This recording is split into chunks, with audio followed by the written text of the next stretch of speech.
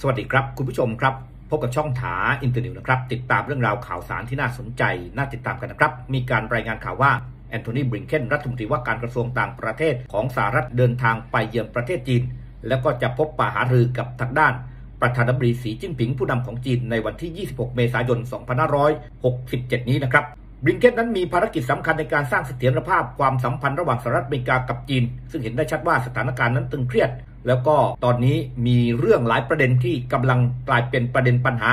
โดยเฉพาะการเยือนครั้งนี้จะเริ่มต้นที่เซี่ยงไฮ้ โดยแอนโทนีบริงเคนนั้นจะพบปะหารือกับนักศึกษาและผู้นำทางธุรกิจเพื่อสะท้อนความสัมพันธ์ที่อบอุ่นระหว่างสหรัฐอเมริกากับคนจีน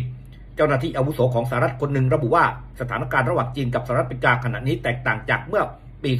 2566 ที่ความสัมพันธ์ระหว่างกันนั้นตกต่ำสุดขีดขณะที่อเมริกาเชื่อว่าได้แสดงออกอย่างชัดเจนแล้วว่าต้องการจัดการ การแข่งขันอย่างมีความรับผิดชอบ ไม่ได้หมายถึงการละทิ้งมาตรการการป้องกันผลประโยชน์ของแต่ละประเทศ นอกจากนั้นคณะผู้บริหารของโจไบเดนนั้นยังกระตือรือร้นที่จะจัดการกับจุดยืนที่ขัดแย้งของจีน เพื่อโดดเดี่ยวรัสเซีย จากกรณี เปิดปฏิบัติการทางทหารในยูเครน เมื่อเดือนกุมภาพันธ์ปี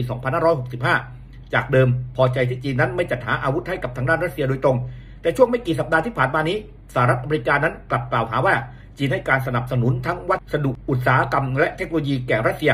สหรัฐอเมริกานั้นยังส่งเสริมให้ผู้นำยุโรปที่รวมถึงนายกรัฐมนตรีโอลาฟโชลซ์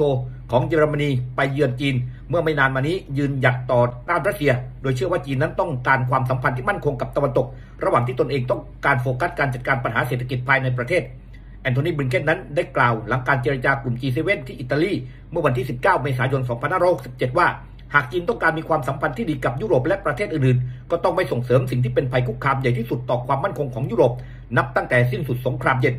ขณะที่การเลือกตั้งประธานาธิบดีสหรัฐใกล้เข้ามาถึงทุกที ซึ่งโจไบเดนนั้นต้องการล้างตากับอดีตประธานาธิบดีโดนัลด์ทรัมป์จากพรรครีพับลิกัน ซึ่งการเดินทางครั้งนี้เนี่ยครับก็เลยทำให้ฝั่งของโจไบเดนเองนั้นก็บอกว่าจีนก็มีบทบาทสำคัญเหมือนกัน โดยเฉพาะในการส่งเสริมให้โจไบเดนนั้นโดดเด่นในการเลือกตั้งครั้งนี้ โดยเฉพาะในเรื่องของการค้าการขายระหว่างทั้งสองประเทศ ซึ่งปัจจุบันนั้นก็กำลังมีปัญหา ซึ่งโจไบเดนไป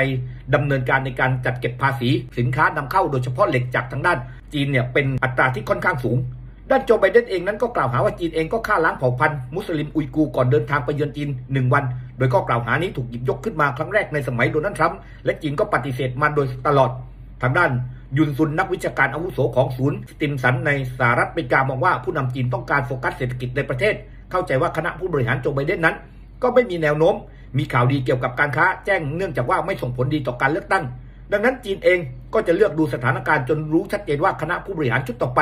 ของสหรัฐอเมริกานั้นเป็นใคร ระหว่างนี้จะพยายามรักษาเสถียรภาพ ความสัมพันธ์กับสหรัฐอเมริกาไปก่อน ความเคลื่อนไหวนี้ก็น่าสนใจนะครับ ซึ่งหลักๆ จุดประสงค์ของแอนโทนีบลิงเคนนั้นก็คือต้องการไปกดดันจีน ให้เลิกติดต่อทำมาค้าขายกับทางด้านฝั่งของรัสเซียนั่นเอง นี่ก็เป็นอีกหนึ่งเรื่องราวข่าวสารนะครับ ที่ช่อง THA Internews นั้น ก็ติดนำมาฝากคุณผู้ชมกันครับ